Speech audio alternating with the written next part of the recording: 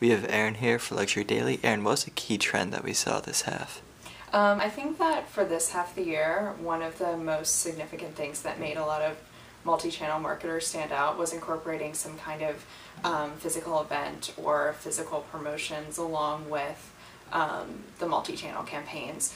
Um, a lot of marketers obviously use digital and social media to promote new campaigns, but I think the ones that really made an impact are the ones that got consumers to actually come into the store and participate in an event or were actually having a physical presence um, out there so consumers could be more part of it than rather than just reading something online. So I think that in the future, um, to make a bigger impact, luxury marketers should really look to have a physical presence as well.